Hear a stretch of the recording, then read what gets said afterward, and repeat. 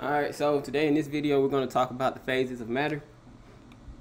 There are three types.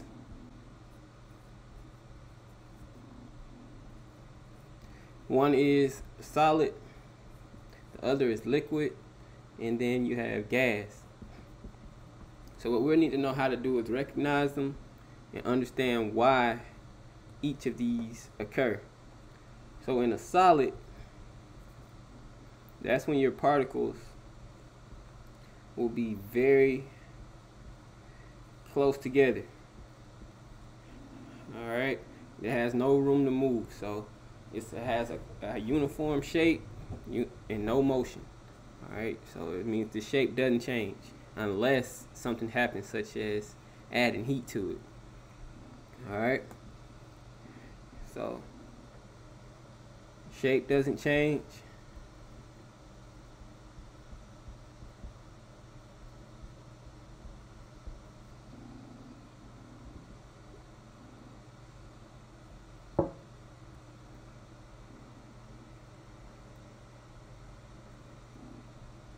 Then you have liquid. The particles are spread out a little more.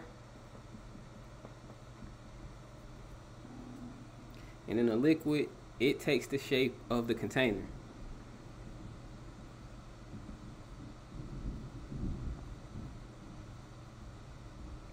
So whatever it's in, just like water, it'll take the shape of that container. Alright. And your last phase of matter is going to be gas.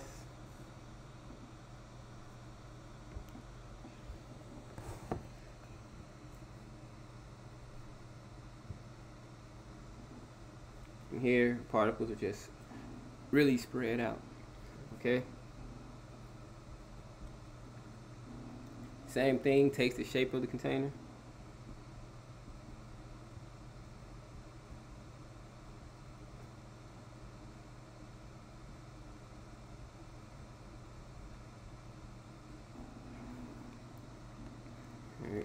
So the difference between these three is basically particle arrangement. Here the particles don't move at all. Here the particles kind of bump against each other and move a little more, but not much. Here the particles bounce off each other and have a lot of space in between them. So the particles are moving fast. It's going from fast to slow. So this is the fastest that particles will move. This is medium. This is the slowest because all it does is vibrate. So it's not really moving. The particles aren't moving. They're just vibrating. Alright. So that's your phases of matter, solids, liquids, gases. So the way to go from a solid to a liquid, if you add heat, it's like you melt something. You add heat to a solid, these particles will start to spread apart more and become a liquid. You add more heat, they spread apart more and become a gas. Now to go in reverse, you have a gas and you take away heat, which means you make something colder, it turns into a liquid. You add, you make, take away heat from a liquid, make this colder, and it freezes it becomes a solid. Another thing we'll have to do with with uh, phases of matter is recognize our phase changes. So what we have here is our heating and cooling curve. You'll notice how one, the temperature increases. And then in this bottom one, we're noticing that the temperature is already high and it's decreasing. So we're gonna see how to read those and how to label them. So I have one here that I drew out So what's happening when you have a low temperature, that means it's starting as a solid. So we're working our way something that's zero degrees is probably frozen. Alright. So this is a solid right here. And as the temperature increases, it starts to get hotter and hotter to the point at which it has a phase change. So once it once it levels out, that means we're having a phase change in which case the solid starts to melt. That says melting. And then it becomes a liquid. Alright. So then the heat or the temperature increases more, gets hotter and hotter and hotter, goes to another phase change. So when liquid goes to a gas, that's called evaporation.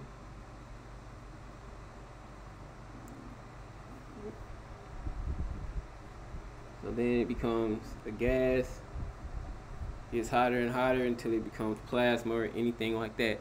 So this is your um, heating and cooling. This is your heating curve, because it's getting hotter and hotter. So when the lines level off, they're going through a phase change. Melting is your first phase change. Evaporation is your second phase change. All right. So we're gonna look at the second one where it's reversed. And instead of heat being added, heat is going to get lost. So we start here. So at that point, for something to be high in temperature, we're starting with the gas. As it cools down, it goes to its first phase change in a in a heat losing graph, which means we're it's our cooling graph. So as the gas cools, once the once the phase changes, that is called condensation. Going from a gas to a liquid is condensation. So then the liquid, now we have a liquid. It cools even more until it gets to the next phase change and we go to, from a liquid to a solid. That's called freezing. And now we have a solid. So it's just the reverse of a heating curve but you have different terms. Condensation is when you transfer transfer gas to a liquid and when a liquid changes to a solid it's called freezing. Solid going to a liquid would be called melting. Liquid going to a gas was evaporation. Alright. If you have any questions, please let me know and I'll make sure I clarify it for you.